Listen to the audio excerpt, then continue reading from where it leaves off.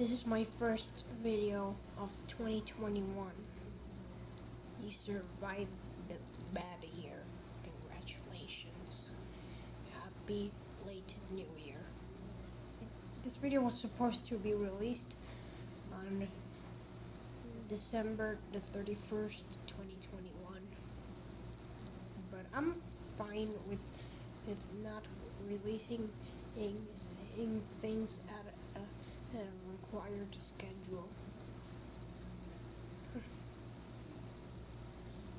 And I am planning to bring back Victor Daniels LT bloopers.